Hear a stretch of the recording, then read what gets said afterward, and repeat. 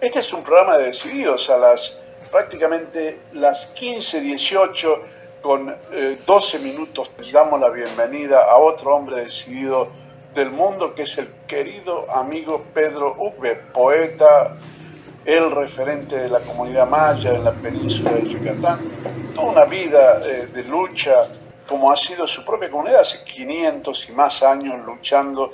Eh, nos han enseñado los pueblos originarios que en la defensa del planeta, en la vigilancia de la vida en el planeta, que no es solamente la vida humana, pero la vida de las especies vegetales, animales, otras especies, está el, secreto eh, de la inmortalidad. Pedro, eh, ¿cómo ves esta realidad de un mundo en el cual el capitalismo, recién decía Federico, el antropoceno, yo sí, el hombre está detrás de eso, pero yo soy un hombre y yo no hice nada para que se realmente eh, dé el cambio climático. Acá el cambio climático está en función del modelo de desarrollo de la sociedad, el capitalismo, la energía de los fósiles. ¿Qué tenemos que aprender? Ustedes hace 500 años que nos vienen dando ese mensaje de cuidar la madre tierra, la madre naturaleza, de cuidar los bosques, los árboles, tú mismo estás luchando hoy como hace 500 años tu comunidad maya en ese tren maya que no quiere que rompa nada de la estructura porque se nos va a volver en contra. ¿Qué mensaje darías tú? Hola Carlos, buena tarde aquí en el horario de México. Un enorme gusto saludarte y saludar a todos los que nos están escuchando en este momento desde Yucatán, México, aquí en territorio maya a mí me llama mucho la atención este concepto que acaba de mencionar el, doctor eh, Federico Mayor Zaragoza cuando él habla de la irreversibilidad. Me parece que es un término muy, muy importante y qué bueno que Europa, qué bueno que el mundo, qué bueno que los líderes mundiales se están dando cuenta de de esta situación que está pasando con el planeta. Porque hay, hay actos, eh, hay impactos, hay hechos que se han dado tan fuertes, tan duros en contra de, nuestro, de nuestra casa, porque es, una casa, no, no tenemos muchas casas, tenemos una sola casa. Y, y esta casa, pues la tenemos así como dividida entre la diversidad en la que estamos. Sin embargo, ha habido por los intereses del capitalismo o, por cualquiera de los ismos, porque también no es solo el capitalismo, sino también el izquierdismo y, los otros ismos que, hay, me parece, por lo menos aquí con nosotros los pueblos indígenas, nos ha pegado el capitalismo, nos ha pegado el izquierdismo, nos ha pegado pues muchos ismos. Y, hemos visto que esos golpes que, se le ha dado a la tierra, al territorio, al planeta, muchos de ellos son irreversibles. Y, justamente ahora que tenemos un, un proyecto impulsado por el mismo gobierno federal, que anoche pues no se le eh, llenó la boca para decir viva los pueblos indígenas. Anoche que estábamos celebrando, bueno, varios estaban celebrando la independencia, nosotros los pueblos indígenas decimos que no tenemos nada que celebrar. Realmente, sobre todo los, los que somos mayas, y que estamos aquí en la península de Yucatán donde un tren está partiendo nuestro corazón, donde un tren está devorando la poca selva que nos queda, donde un tren está destruyendo las cuevas, los cenotes, donde hay especies que son únicas en el, en el planeta y que están siendo asesinadas, desaparecidas, y las maquinarias pesadas en las comunidades están haciendo un ruido como, como el tableteo de una metralleta eh, disparada en, una guerra. Entonces, eh, estos hechos, estos daños, me parece que son irreversibles y, yo no sé cómo muchos de estos que hoy toman decisiones en el mundo no se pueden dar cuenta de, este daño. ¿Cómo es posible que podamos o pueda la humanidad, o por lo menos una parte de la humanidad que, que tienen decisiones importantes en el planeta, hacer este tipo de cosas cuando saben que, que estos daños son irreversibles? A mí me, llamó mucho la atención esta palabra porque me parece que, es fundamental. Me parece que lo debemos tener como, como muy claro. Me parece que lo debemos tener muy presente. Porque hay, hay errores que uno comete y, a lo mejor uno los puede resarcir. Pero, pero hay, hay actos que, se cometen y, son irreversibles, que, que ya no se pueden volver a recuperar porque es, ese, es esa voz popular que dice golpe, dio, golpe dado ni Dios lo quita. Entonces, eso es lo que le está pasando, me parece, al planeta. Eso le está pasando a nuestro territorio. Con tal de llevar unos turistas, con tal de construir unos hoteles, con tal de construir unos restaurantes y con tal de amasar esa fortuna que, finalmente ahí queda como, como una fortuna eh, yo, yo diría inclusive es que es, que es, una, es una fortuna que, ni siquiera se sabe cómo se tiene que, gastar y para qué, porque hemos visto que, que muchos de los que han amasado grandes fortunas lo usan inclusive para el mal y no para promover la vida, sobre todo para quienes estamos aquí como pueblos originarios, en, en donde nosotros lo que apreciamos como valor importante es la conexión que tenemos como seres humanos con el resto de nuestro entorno, que no lo vemos como, como un recurso, no lo vemos como algo vendible, no lo vemos como algo que nos genera dinero, sino lo vemos como, como algo que está conectado con nuestro espíritu. En maya tenemos una palabra que decimos ol, que, que es el ser más profundo del, del hombre, del ser humano, y que eso es lo que está conectado con el agua, está conectado con la tierra, está conectado con la lluvia, de tal manera que cuando esto se impacta, pues es irremediable, es irreversible, que hay un golpe en la vida de nuestros niños, en la vida de los pájaros, en la vida de, nuestras cuevas, de nuestros cenotes, de nuestra selva. Y, y esto es lo que nos preocupa. Entonces, eh, es, pero además me parece paradójico que en, lugares como aquí, donde no, supuestamente no hay una guerra, como en Ucrania, resulta que hay más muertos. Aquí en, en México, en este fin de semana, en dos días hay 60 muertos o 100 muertos al día, y, son cifras oficiales, yo no estoy inventando. Hay 100 muertos, hay 120 muertos al día. Y, bueno, decimos, bueno, si México no está en guerra, México está en paz, pero bueno, hay 120 muertos al, día. Y, además, si contamos lo que pasa en, en el medio ambiente, hay un daño enorme que se está dando contra el agua, contra la selva, contra los animales y obviamente contra nosotros como cultura. Y eso es justamente el dolor que hoy venimos a compartir.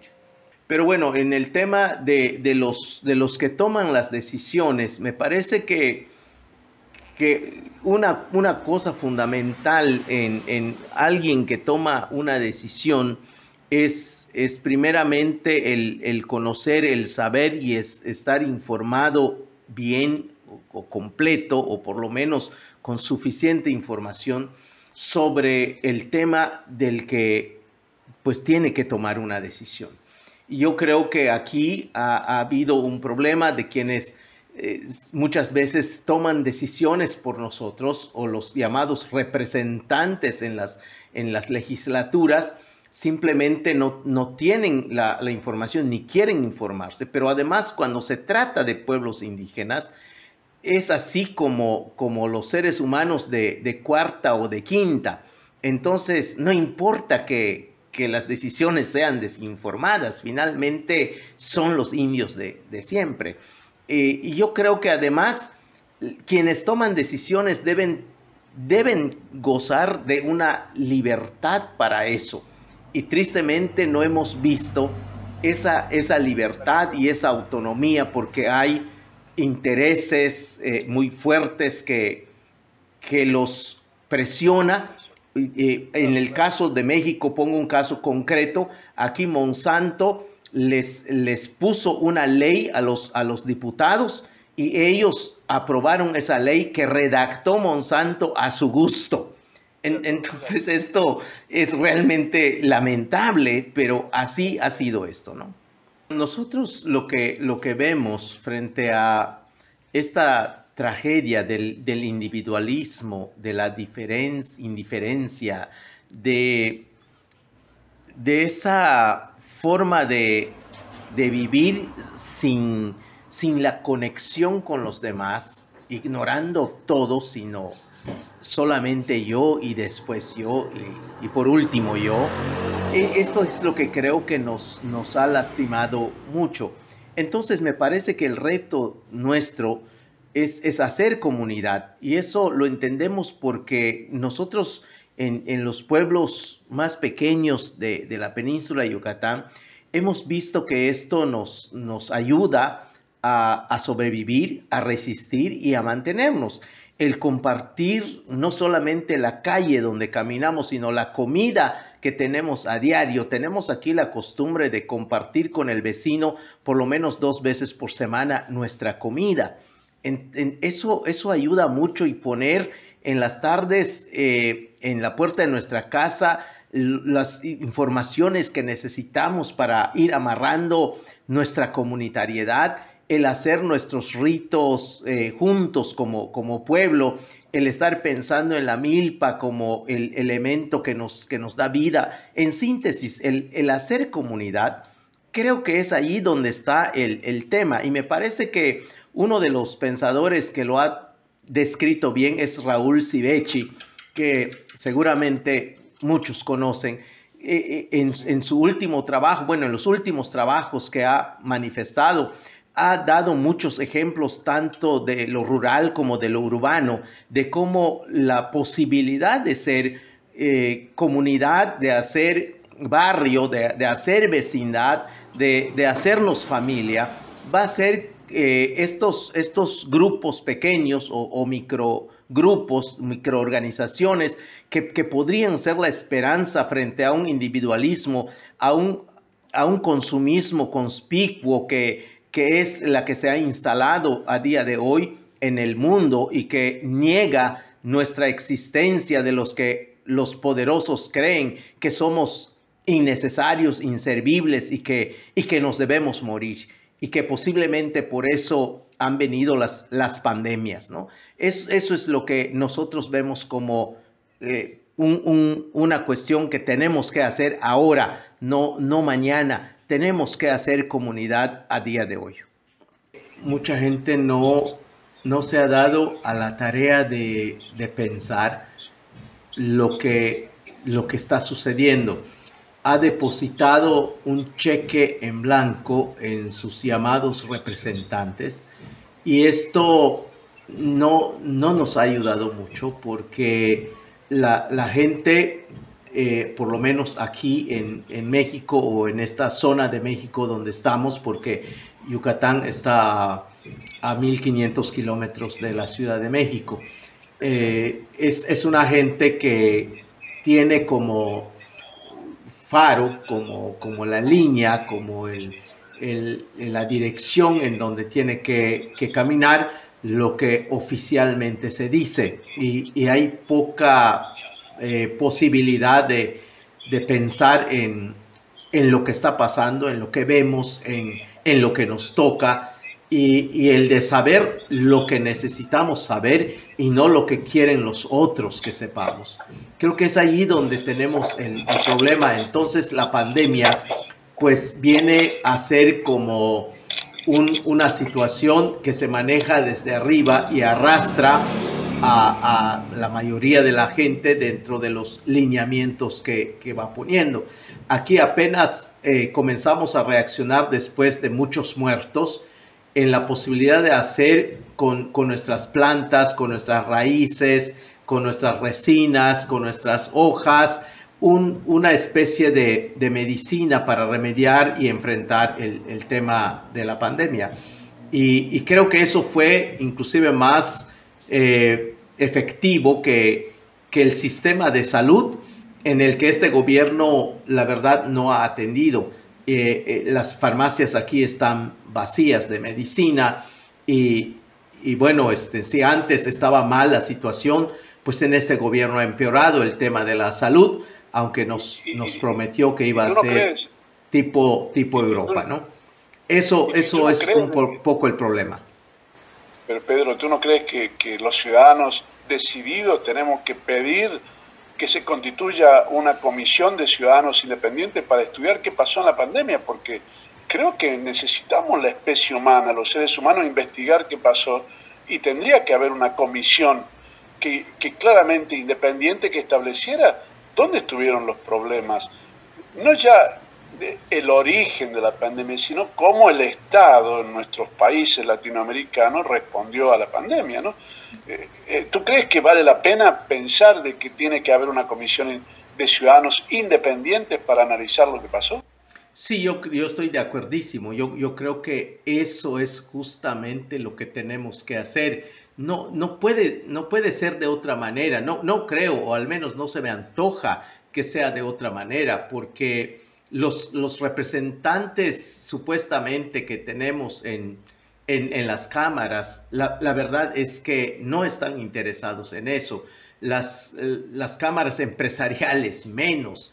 entonces, si no hay una organización ciudadana independiente que pueda tomar esta iniciativa en sus manos y, la pueda construir a partir de su, de su propia realidad sin esos intereses económicos, sin esos intereses políticos, yo creo que que no vamos a, caminar.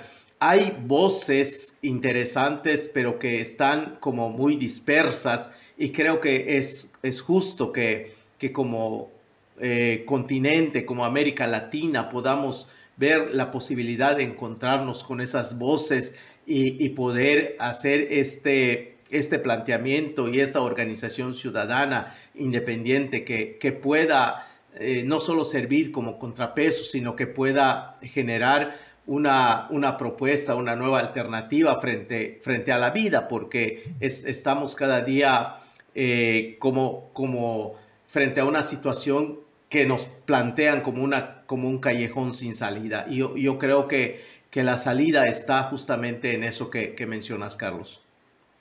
Qué, importante lo que nos plantea eh, Pedro Ugbe, eh, referente de la comunidad maya, la asamblea maya en la resistencia allí en la península de Yucatán, en México.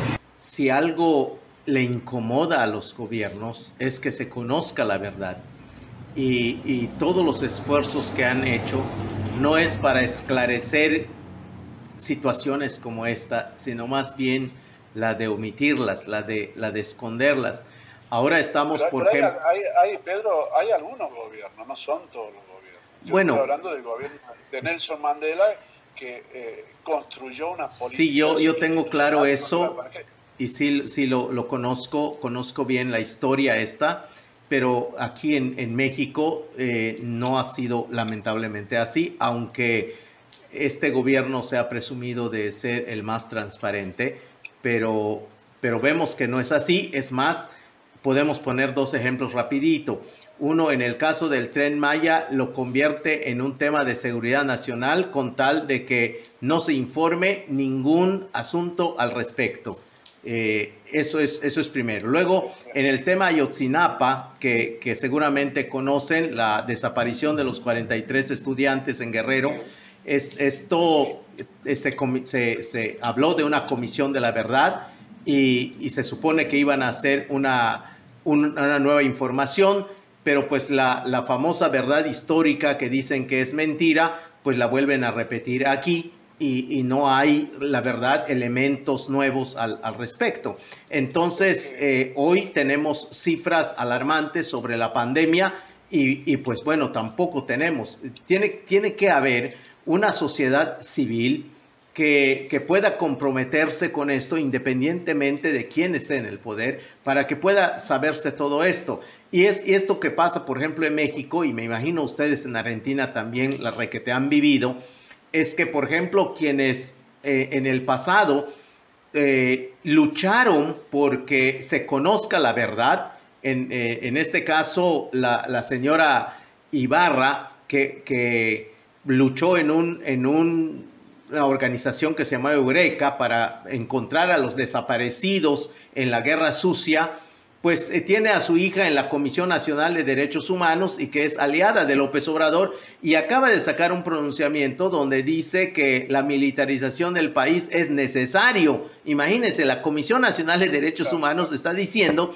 que es necesario y que eso no viola los, los derechos humanos y su Consejo Consultivo acaba de salir a decir que eso no es, no es posible. Entonces, estamos en una situación así, por eso lo que decías hace un momento, de que tiene que ser una organización civil independiente. Creo que es por ahí donde tenemos que ir construyendo. No, no le veo por, por otro lado. Y lo que tocan los, los gobiernos, la mayoría de ellos, para no generalizar, pues, pues bueno, lo echan a perder. Es, eso es lamentable porque pues es parte de la dinámica del poder que han tenido la mayoría de ellos. Me gustaría que nos, nos relate un minutito de alguna de tus poesías para entender ese, ese sentir que tiene el pueblo maya por la naturaleza, porque realmente eh, la poesía nos permite ver, es una luz que nos arroja al alma pedazos de la realidad. Eh, pero me gustaría que compartas alguno de tus trabajos. Adelante.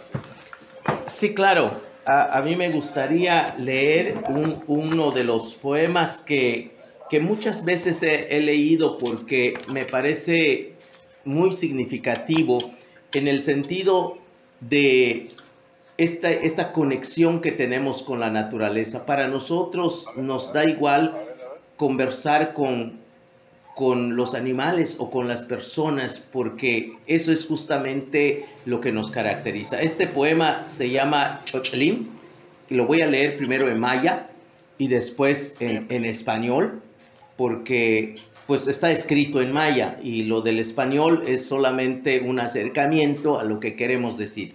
Dice Chochlim, Liken tamuksahil anuk besakai, tumenim payalchie, tsokup atal matu yubal tumeyunchak.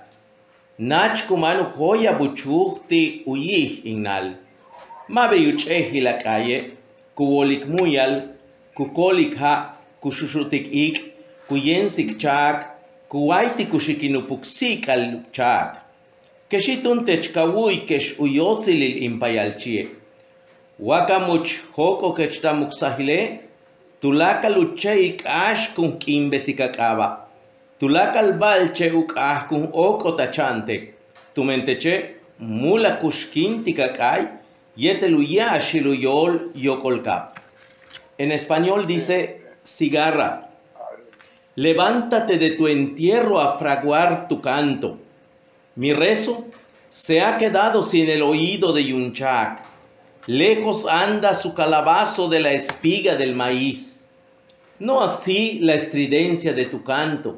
Amasa la nube, seduce el agua, lisonjea el viento, desciende la lluvia y hechiza los oídos del corazón de Luchak. Sé tú entonces quien escuche mi desamparado clamor. Si pudiera salir de la tumba, todos los árboles del monte festejarán tu nombre. Todo animal sediento danzará para tus ojos, porque tú reanimas la vida de tu canto, al igual que el verde retoño de la tierra. Ese es el poema. Excelente. Un aplauso de nuestra comunidad de ciudadanos decididos del mundo. Quiero compartir eh, contigo, Pedro y Raúl, más nuestra eh, audiencia en muchos países del mundo hispano, a escuchar eh, el, el, contenido de esta pieza artística de Cambalache, pero en voz de una mujer, para después reflexionar contigo y Raúl sobre el significado, si tiene valor o no. Este tango que fue escrito en 1934 y creo que en la voz de una mujer supera eh, las responsabilidades que eh, esta filosofía nos dejó eh, el siglo pasado a las generaciones actuales. Eh, comparte el tango de Nacha Guevara cantado por Nacha Guevara Cambalache. Adelante, Daniel. El mundo fue y será una porquería, ya lo sé. En el 506 y en el 2000 también, que siempre ha habido chorros, maquiavelos y estafados, contentos y amargados, valores y dobles, pero que el siglo XX es un despliegue de maldad insolente, no hay quien lo niegue. Vivimos revolcados en un merengue y en un mismo lodo todos manoseados. Hoy resulta que es lo mismo ser derecho que traidor.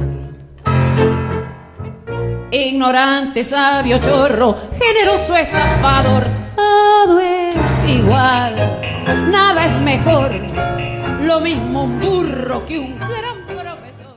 Eh, sí, a mí me llama mucho la atención porque es, la fotografía de una realidad tan, tan cruda y, bueno, eso me hizo recordar a, a Discepolo también, que, que, me ha gustado escucharlo, porque cuando dice el mundo es una porquería, eh, aunque parece que, que, es una cosa simplista, pero, pero no lo es, me parece que es solamente mirar una situación en su desnudez como, como la estamos pasando. Y claro, Nacha Guevara tiene allí elementos fundamentales que necesitamos seguir reflexionando y lo, y lo lamentable me parece es que cuando uno piensa que estas cosas eh, se quedaron atrás, eh, esto vemos que no es así, que, que, ha sido recurrente, que ha sido el, el, pan de cada día. Si esto es en 1934,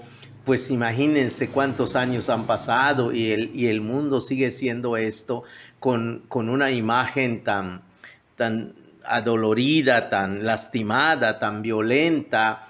Y, esto nos hace, nos hace pensar en, en, lo que dice Galeano, por ejemplo, cuando habla cómo el hombre hoy se le hace muy fácil decir me voy a la luna y ha avanzado mucho en su tecnología, pero en, en lo humano no ha podido avanzar en, nada. Y, esto es un dolor muy grande que, nos genera, porque además hoy no es solamente cualquier cosa lo que se hace, se está destruyendo la casa. Y, eso es lo que decía Federico Mayor, es irreversible, está destruyéndose esta casa. Y si, y si hoy no, no, damos cuenta de esto, yo no sé cuánto tiempo más, más nos, nos quede a, mí no me importan mucho los, los plazos de que han puesto, no sé, no sé quiénes allá, la agenda de los 30 o la agenda de los 50.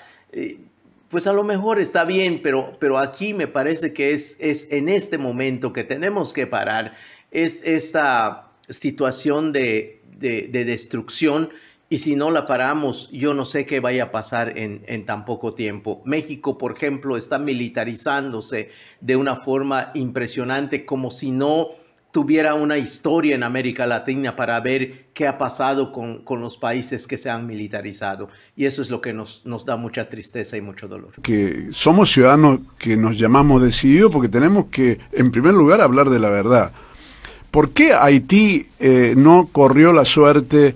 De otros países de la región, como puede ser Argentina, Chile, inclusive el mismo México, que tuvieron grandes procesos también de genocidios internos. Porque Haití estaba eh, absolutamente compenetrado con eh, los que habían llegado en barco, en el barco de los esclavos.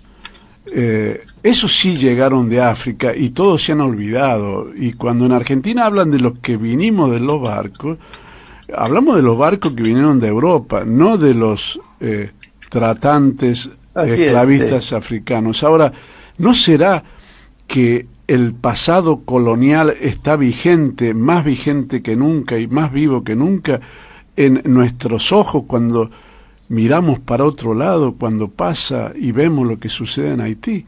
Tanto para los mexicanos, el pueblo maya, como para los porteños en Argentina o los cordobeses en Argentina.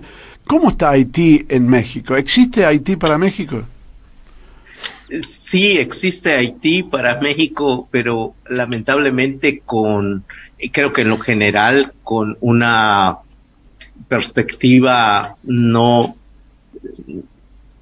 pues lamentablemente desagradable, porque lo que se sabe de Haití es que vienen muchos haitianos a México como migrantes que escapan de su, de su tierra y se unen a los centroamericanos que, que caminan hacia el norte, hacia Estados Unidos. Entonces, muchos de los migrantes que están caminando cada día hacia el norte son haitianos y entonces el concepto que tiene la mayoría de, de los mexicanos es que Haití es un pueblo de migrantes que, que va escapando de su país por la situación complicada eh, políticamente y económicamente que tienen.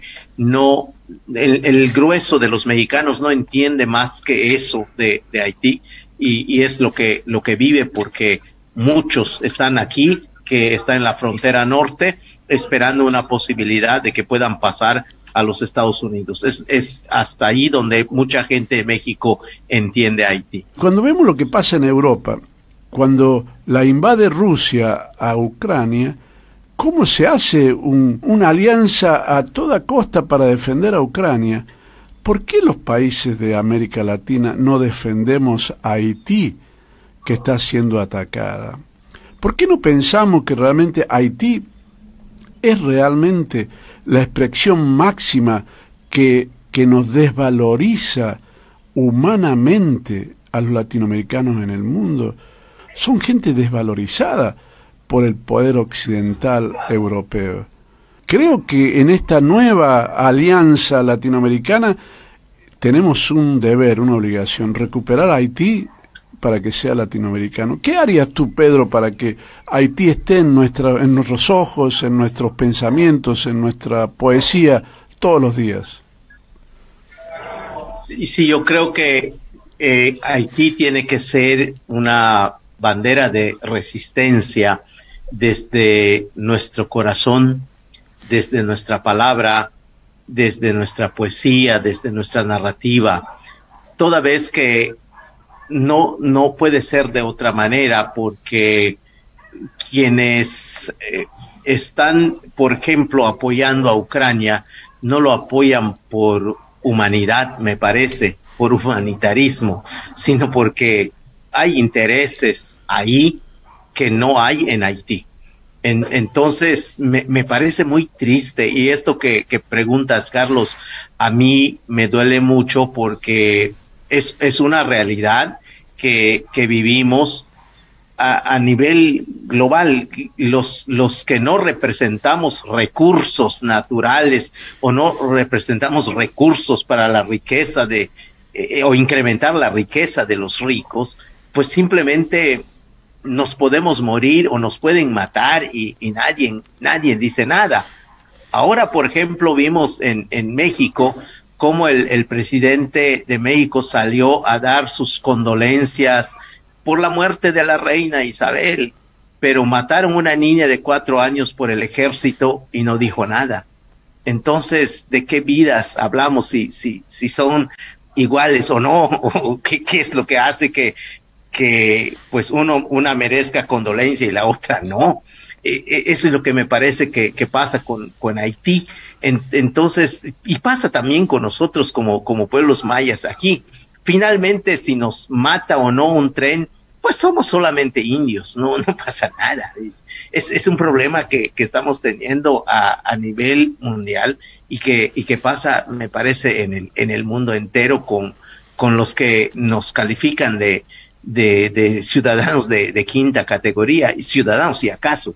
Es, ese es el, el, el triste eh, momento que estamos pasando, pero que creo que los de abajo tendríamos que tener en cuenta y, y, y, como dice el querido Raúl, pues hacer solidaridad y abrazarnos entre, entre nosotros para ver la posibilidad de brincar esos cercos. Sin duda, sin duda. Estamos hablando con el querido amigo Pedro Ugbe, dirigente maya allí en la península de Yucatán.